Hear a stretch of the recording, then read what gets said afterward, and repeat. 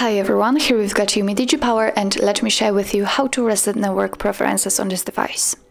So first of all we have to enter the settings and now let's scroll down to the very bottom and tap on the system.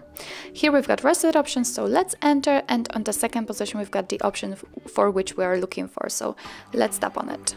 Your device is telling you that it will reset all network settings including Wi-Fi, mobile data and Bluetooth. So if you're ready tap on reset settings, confirm with the pattern so if you have one just enter it and uh, now your device is asking you again if you really want to do it because you cannot undo this action. So if you're ready tap on reset settings and as you can see, the network settings have been reset successfully.